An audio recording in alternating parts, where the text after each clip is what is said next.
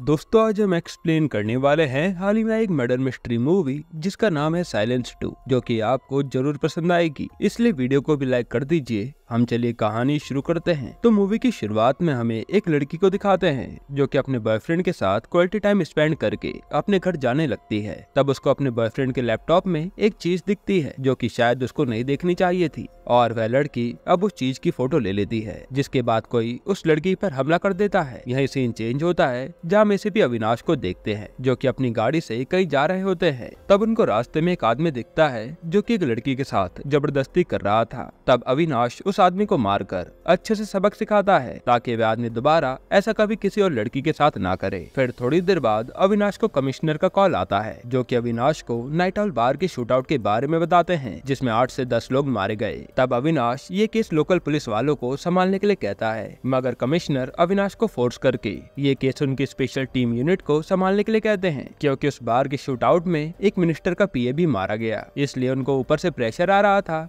जिसके बाद अविनाश इस केस को ले लेता है। अगले सीन में अविनाश अपनी टीम के साथ क्राइम सीन पर पहुँचता है, जहाँ अविनाश की टीम में इंस्पेक्टर अमित, राज और ऑफिसर संजना होते हैं। वहाँ अविनाश अब क्राइम सीन के अच्छे से इन्वेस्टिगेशन करता है, जहाँ वह देखता है कि किलर ने दस लोगों को जान से मार दिया है, जिसके बाद अविनाश बार के मालिक से बात करके वहाँ की सीसीटीवी फुटेज लेकर चले जाता है, ताकि वह किलर के बारे में पता लगा सके। फिर अगले दिन अविनाश अपनी टीम के साथ क्राइम सीन के बारे में डिस्कस करता है, जहाँ हम उस लड़की को देखते हैं, जिसको हमने मूवी की शुरुआत में देखा था, और उसका नाम आजमा होता है। अविनाश अब अपने साथियों को बोलता है कि अगर किलर मिनिस्टर के पीए को मारने आया था तो उसने वहाँ पर बैठे और लोगों को क्यों मारा? और क्राइम सीन पर एक और बात अजीब थी कि मिनिस्टर के पीए के साथ बैठे लोगों को किलर ने कुर्सी पर ही गोली मार दी, जबकि आजमा और इरफान को किलर ने ऐसे मारा कि उनकी बॉडी ज़मीन पर पड़ी थी। इससे अविनाश को समझ नहीं आ रहा था कि आखिर क्राइम सीन पर हुआ क्या है। तभी एकदम से संजना अविनाश को बताती है कि गोविंद को होश आ गया है, जो कि क्राइम सीन पर बेहोश मिला था। अब अविनाश हॉस्पिटल जाकर गोविंद से पूछताछ करता है।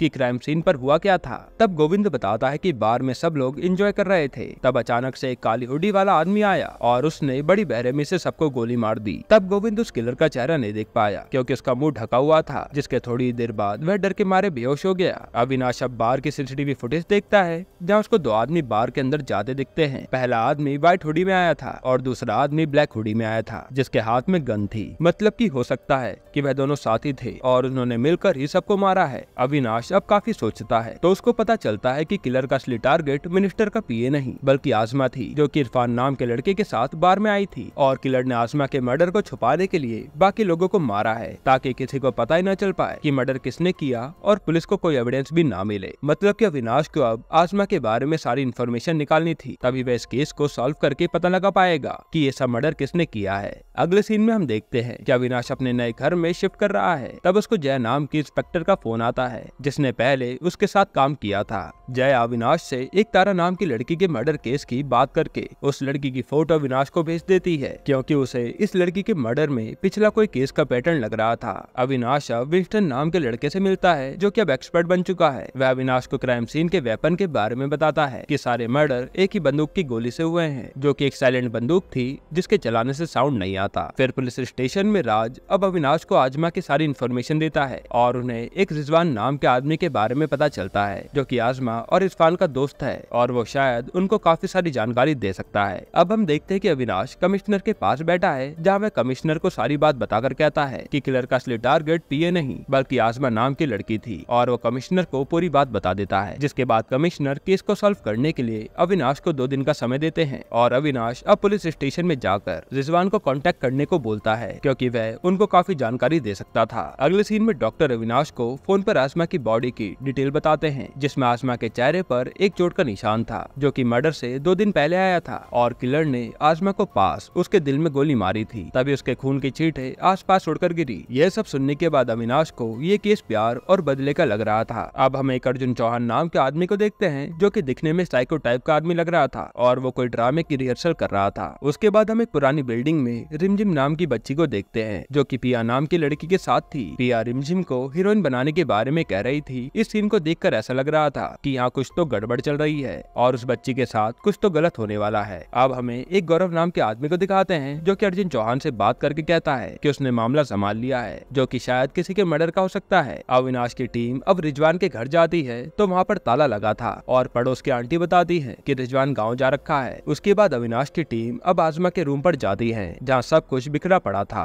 ऐसा लग रहा था कि किलर ने आजमा के रूम में कुछ ढूँढने की कोशिश करी, पर उसे कुछ भी नहीं मिला। अविनाश की टीम अब आजमा के रूम की तलाशी लेती है, जहाँ उनको आजमा की अलमारी में काफ़ी महँगी महँगी ड्रेस और गिफ्ट मिलते हैं। जबकि आजमा इतनी अमीर नहीं थी, जिससे अविनाश की टीम समझ जाती है कि आजमा एक कॉल गर्ल का काम करती थी, तभी उसके पास इतने महँगे महँगे सामान थे। अविनाश को अब आजमा के रूम से एक डॉक्टर की पर्ची मिलती है, जिसके बाद उस डॉक्टर के पास आजमा के बारे में पता लगाने चले जाता है। अब डॉक्टर अविनाश को बताते हैं कि आजमा दो दिन पहले उससे इलाज कराने के लिए आई थी, क्योंकि उसके चेहरे पर चोट लगी थी। फिर अविनाश डॉक्टर से आजमा की फैमिली के बारे में पूछता है। तब डॉक्टर बोलते हैं कि आजमा की फैमिली में सिर्फ़ एक माँ है, जिसे आजमा का ये काम पसंद नहीं था, इसलिए वह अपने गाँव चली गई अविनाश की टीम अब आजमा की माँ के पास जाकर उनको बताती है की उनकी बेटी मर चुकी है, जिसको सुनकर आजमा की माँ रोने लगती है। पुलिस को अब आजमा की माँ के घर में एक कॉरियर मिलता है, जो की आजमा ने भेजा था, और उसमें एक पेन ड्राइव थी। जैसे ही अविनाश उस पेन ड्राइव को चेक करता है तो उसमें एक लड़की की मरी हुई फ़ोटो मिलती है, जिसे देखकर अविनाश को याद आता है कि उसने उस लड़की की फ़ोटो कहीं देखी है। फिर अविनाश अपना फ़ोन चेक करता है तो सेम ऐसे ही मर्डर की फ़ोटो जया ने अविनाश को भेजी थी। मतलब की आजमा को इस मर्डर के बारे में पहले पता चल गया था तो शायद इसलिए किलर ने आजमा को मार दिया। अब अगले सीन में हम देखते हैं कि पिया रिमझिम के पास दो लड़कियों को ले आती है, जिनको भी उसने हीरोइन बनाने को कहा था। मतलब की पिया कुछ तो बड़ा प्लान कर रही है। अब हमें पता चलता है की अर्जुन थोड़ा साइको इंसान है, जो की डॉक्टर से थेरेपी लेता है, और यहाँ संजना को अब डॉक्टर का फ़ोन आता है, जो बताते है की रिजवान वापस आ गया है और उनसे मिलना चाहता है। फिर अविनाश की टीम अब रिजवान से जाकर बात करती है। तब रिजवान बताता है कि आजमा एक कॉल गर्ल थी और एक क्लाइंट ने उसके मुँह पर मुक्का मारा, जिसके बदले उसको दस हज़ार रूपए एक्स्ट्रा मिले थे। जब रिजवान ने उससे चोट का कारण पूछा तो आजमा ने कहा कि उसके धंधे में ऐसा सब कुछ होता रहता है, जिसके बाद रिजवान ने डॉक्टर से उसका इलाज करवाया। फिर वह चार तारीख को नमाज़ पढ़कर अपने गाँव चला गया। यहाँ अविनाश को रिजवान पर शक होता है की वह उसे कुछ छुपा रहा है। तब अविनाश रिजवान से ट्रेन की टिकट माँगता है, जिससे वह अपने गाँव गया था और रिजवान उसे टिकट दिखा देता है। हालाँकि अविनाश को अभी भी रिजवान पर शक था। अविनाश अब जया से आजमा और तारा के मर्डर केस के बारे में बात करता है। तब अविनाश को पता चलता है कि जिस आदमी ने तारा को मारा, उसने उसकी लाश की फ़ोटो आजमा के किलर के लैपटॉप में भेजी थी, जो कि आजमा को मिल गई, जिसके कारण आजमा मारी गई, ताकि ये बात किसी को पता न चल पाए। मतलब की ये दोनों केस एक दूसरे से रिलेटेड है, और इन सब के पीछे कोई एक ही आदमी है। इधर गौरव अर्जुन से बात करता है कि उन्हें एक बहुत बड़ी डील मिली है, जिसके होते ही उन्हें बहुत सारे पैसे मिल जाएँगे। यहाँ जया अब तारा के बारे में इन्वेस्टिगेशन करके अविनाश की टीम को बताती है कि उसके घर में महँगे महँगे कपड़े और गिफ्ट मिले हैं, जबकि उसका रूम नॉर्मल था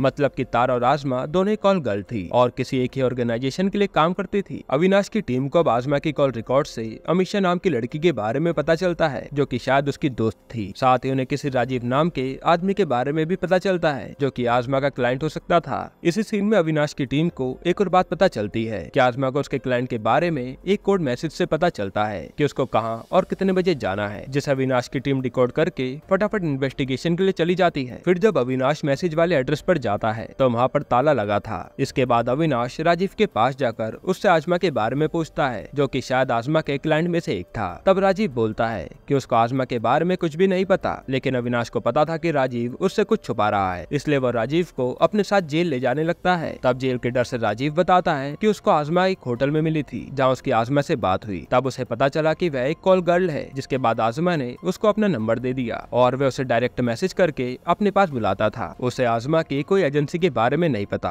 अब पुलिस स्टेशन में संजना अविनाश को बताती है कि उसको आजमा के कॉल रिकॉर्ड से पता चला कि जिस नंबर से उसको क्लाइंट के मैसेज आते थे, वह हर बार चेंज होते थे। जब संजना ने सर्विस प्रोवाइडर से बात करी तो उन्हें ये पता चला कि ये सारे नंबर किसी पूनम शर्मा नाम की औरत की आईडी पर रजिस्टर्ड है। फिर थोड़ी देर बाद अविनाश अब अमीशा से मिलता है, जो कि आजमा की दोस्त थी। अमीशा बताती है कि उसको किसी के बारे में कुछ भी नहीं पता। बस उनको एक कोड मैसेज आता है, जिससे उन्हें पता चलता है कि उन्हें कहाँ और कब जाना है। फिर अविनाश अमीशा से पूछता है कि तुम इस धंधे में कैसे आई? तब अमीशा बताती है कि कुछ लोग उसके घर आए थे, जिन्होंने उसकी फैमिली को बोला कि वह उसे हीरोइन बनाएँगे, जिसके बाद वह लोग उसकी फैमिली को पैसे देकर उसे ले गए और ऑडिशन के नाम पर अमीशा को एक क्लाइंट के पास भेज दिया, जिसने उसके साथ दुष्कर्म किया और ऐसे ही करके वह इस धंधे में फंस रह गई है। अविनाश अब अमीशा से पूछता है की आजमा ने उसके क्लाइंट के लैपटॉप में कुछ देखा, जिसके बाद उसने अमीशा को मिलने के लिए कहा मतलब जबकि उसके मरने की वजह वही चीज़ है। यह सुनते ही अमीशा डर जाती है और फटाफट भाग जाती है, क्योंकि उसको अपनी जान का डर लग रहा था। फिर इधर इंस्पेक्टर राज और अमित पूनम के घर जाते हैं। तब वह देखते की पूनम तो एक बूढ़ी औरत है, जिसकी आईडी का यूज़ सिम कार्ड निकालने के लिए किया गया है। बाकी पूनम को कुछ भी नहीं पता। अगले सीन में अविनाश अमीशा के घर जाता है, जहाँ वह देखता है की उसको किसी ने मार डाला है, जबकि उसने उसके घर के बाहर दो पुलिस वाले लगाए थे। फिर डॉक्टर अमीशा की लाश को एग्जामिन करके बताते हैं कि किसी ने अमीशा का मर्डर किया है और उसके हाथ में चाकू से कट मारा है, ताकि ये सब सुसाइड लगे और जो सुसाइड नोट अमीशा के घर में मिला है, वह शायद किलर ने ही लिखा है। यह सब होने के बाद अविनाश का दिमाग खराब हो जाता है और उसको लगता है कि अमीशा की मरने की वजह वही है, इसलिए वह अपनी टीम को जल्दी इस केस को सॉल्व करने को बोलता है, ताकि आगे अब किसी की जान ना जाए। अब पुलिस स्टेशन में संजना अमीशा की डायरी पढ़ती है, जिसमें उसने ग्यारह ऐसी पंद्रह तारीख तक जयपुर जाने का प्लान किया था और डायरी में छोटे छोटे अक्षरों में लिखा था कि और भी लाशें बिखरेंगी। यह सब लिखकर अमीशा ने अविनाश को इशारा किया था कि इस धंधे में और भी लड़कियाँ फंस रखी हैं। अविनाश अब अपने साथियों को कहकर 11 तारीख की मुंबई से जयपुर जाने वाले पैसेंजर की डिटेल निकालने को बोलता है, जिसमें 15 से लेकर 20 साल की लड़कियाँ अकेले ट्रैवल करने वाली हैं। थोड़ी देर बाद अमीशा की दादी अब पुलिस स्टेशन में आती हैं, जहाँ अविनाश उन पर चिल्लाकर कहता है कि आपने अपनी पोती को किस दलदल में फंसा दिया था? तब अमीशा की दादी बोलती है की ये सब अमीशा के माँ बाप ने कुछ पैसों के लालच में किया और उन्हें कुछ भी नहीं पता। इसके बाद अविनाश की टीम अब मुंबई से जयपुर जाने वाले पैसेंजर की लिस्ट निकाल लेती है, जिसमें पंद्रह से अठारह साल के बीच सात लड़कियाँ थी। जो कि अकेले ही ट्रैवल कर रही थी। अविनाश अब समझ गया था कि ये केस चाइल्ड ट्रैफिकिंग का भी है, जिसमें लड़कियों को प्रोस्टिट्यूट के गलत काम में डाल दिया जाता है। इसके बाद अविनाश अपनी टीम को उन सब लड़कियों के नंबर पर कॉल करने को कहता है, जो कि उन्हें एयरलाइन वालों ने दिए थे, जिससे शायद उन्हें उन लड़कियों के बारे में कुछ पता चल पाए। फिर अविनाश जया को कॉल करके सब बताता है और जयपुर के एयरपोर्ट में लड़कियों को ढूँढने को बोलता है, ताकि वे लड़कियों के साथ गलत काम होने से बचा पाए। अगले सीन में हम जयपुर के एक विला में कुछ लड़कों को देखते हैं, जो कि मिनिस्टर के बेटे, सनी की बैचलर पार्टी मनाने आए थे। इधर जय अब जयपुर के एयरपोर्ट में लड़कियों को ढूँढने की कोशिश करती है, पर उसे कोई भी नहीं मिलता। लेकिन हम देखते हैं कि जया के पीछे से एक गाड़ी जा रही है, जिसमें कनिका नाम की औरत कुछ लड़कियों को अपने साथ ले जा रही है। इधर अविनाश अब कमिश्नर को सब बता देता है और कहता है की मुंबई से जयपुर कुछ लड़कियों को ले जाया जा रहा है, और उनके साथ कुछ तो गलत हो सकता है। तो उन्हें जल्दी जयपुर जाकर उन्हें पकड़ना होगा, जिसके बाद अविनाश अपनी टीम के साथ जयपुर के लिए निकल जाता है। यहाँ अनिका अब उन सात लड़कियों को अपने साथ होटल में खाना खिलाती है। तब रिमझिम चुपके से वॉशरूम जाकर अपने घर कॉल करती है, क्योंकि उसके पास फ़ोन था,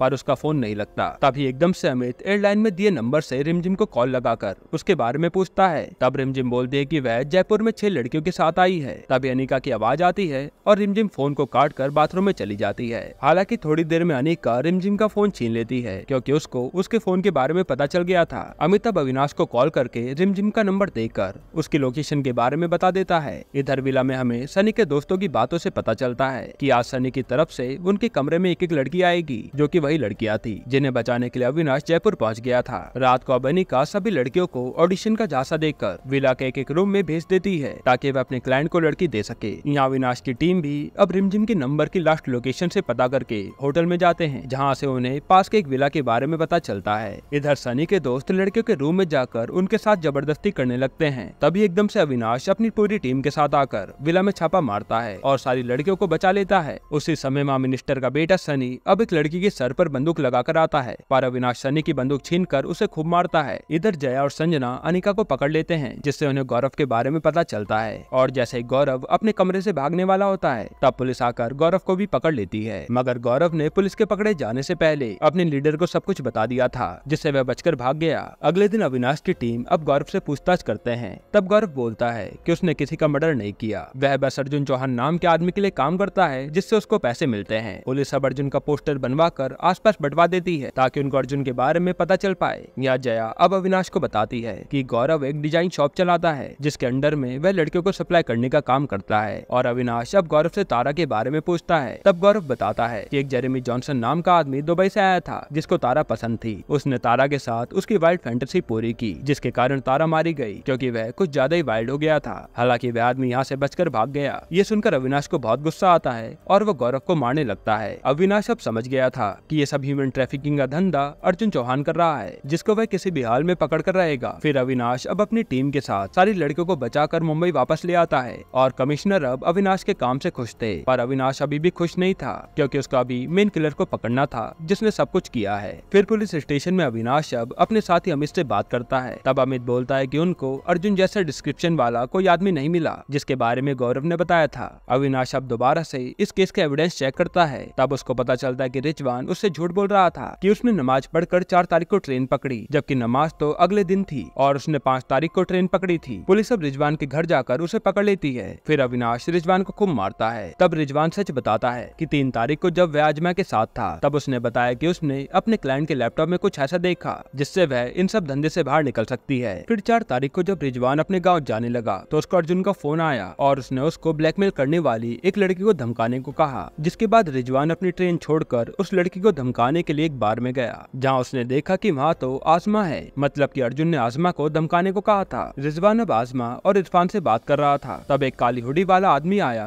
जिसने वहाँ पर सबको मार दिया और रिजवान को अपने साथ ले गया, जिसके बाद रिजवान उस आदमी से बचकर भाग गया और अगले दिन वह अपने गाँव चला गया। अविनाश अब समझ गया था की किलर ने ये सब रिजवान को फंसाने के लिए किया है और जब आजमा को तारा के मर्डर की बात पता चली तो उसने अमीशा को बताया, ताकि वह दोनों इस धंधे से बचकर निकल सके, जिस कारण वह दोनों ही मारी गई। अविनाश को यहाँ एक और बात पता चलती है कि जिस आदमी से आजमा मिला करती थी, वह शायद अर्जुन ही था, जो कि शायद आजमा से प्यार करने लगा था। इसलिए उसने आजमा को तब नहीं मारा, जब उसको तारा के लाश की फ़ोटो दिखी थी। अब अविनाश के दिमाग में काफ़ी सारे सवाल चल रहे थे, जिसके जवाब उसके पास नहीं थे। और संजना अब अविनाश को बताती है कि अब तक जितने भी लोगों से उन्होंने पूछताछ करी है, किसी ने भी अर्जुन को देखा नहीं है। और रिजवान ही अर्जुन का खास आदमी है, जो कि उसका सारा धंधा संभालता है। साथ ही शौक की बात तो यह है कि सारी कॉल गर्ल अर्जुन को एक लाख बीस हज़ार रूपए हर महीने भेजती हैं, जो कि रिजवान अर्जुन को देता था। अविनाश अब रिजवान को जाकर दोबारा मारता है, क्योंकि वह उसको पूरी बात नहीं बता रहा था। तब रिजवान बोलता है कि वह हर महीने तीस कॉल गर्ल से एक लाख बीस हज़ार रूपए कलेक्ट करके अर्जुन को देता है, पर उसने अर्जुन को देखा नहीं, क्योंकि वह पैसे आर्टिफैक्ट कंपनी के अकाउंट में डालता है। अविनाश की टीम अब आर्टिफैक्ट कंपनी के एड्रेस को निकाल कर वहाँ पर जाती है, जहाँ वह देखते हैं की वहाँ राजीव बैठा है। राजीव अब अविनाश को बताता है की अर्जुन चौहान तो उसका साला है, जिसके बाद अविनाश अर्जुन को जाकर पकड़ लेता है। पर अर्जुन को इन सब मर्डर और एस्कोर्ट के धंधे के बारे में कुछ भी पता नहीं था, और वह बस पागलों की तरह हरकतें कर रहा था। लेकिन अविनाश की टीम को अब अर्जुन के रूम से सारे एविडेंस मिल जाते हैं, जिससे वह कॉल गर्ल के सारे धंधे चला रहा था। पर यहाँ अविनाश ये समझ गया था कि वह अर्जुन नहीं है, जिसको वह ढूंढ रहे हैं। कोई बड़ी चलाकी से अर्जुन को फंसा रहा है, ताकि वह बच सके, क्योंकि अर्जुन के मिलते ही उनको सारे एविडेंस बड़ी आसानी से मिल गए, जिसको वह कितने टाइम से ढूंढ रहे थे। और वैसे भी अर्जुन पागल था, जिसके बस का ये सारा काम करना नहीं था। अविनाश की टीम फिर भी अर्जुन को पकड़ कर ले जाती है, क्योंकि उनको कमिश्नर को कुछ तो दिखाना था। अब जैसे अविनाश जाने लगता है, तब राजीव की बीवी का पर्स गिर जाता है, जिसको उठाने में अविनाश उनकी मदद करता है। फिर पुलिस स्टेशन में जाकर अविनाश काफ़ी सोचता है की इन सब केस के पीछे कौन है, जो की उनकी आँखों से छुप रहा है। तब उसको छोटू की माचिस से सिगरेट जलाते ही कुछ याद आता है, जिसके थोड़ी देर बाद अविनाश राजीव की बीवी आरती से बात करने जाता है। तब वह आरती से पूछता है कि वह 11 से 14 तारीख के बीच कहाँ थी? आरती बोलती है कि वह